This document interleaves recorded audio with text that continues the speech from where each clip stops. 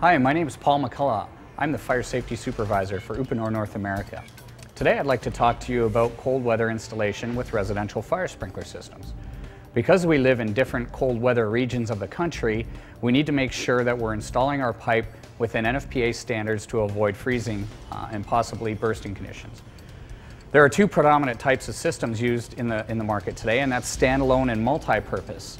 When installed correctly, freezing is not an issue with CPVC or PEX. However, if the insulation is for any reason disturbed by a homeowner, there is potential for water to freeze in the tubing. If this were to happen with rigid CPVC tubing, it may crack and eventually leak. With PEX-A tubing, the pipe itself will actually expand and contract back down.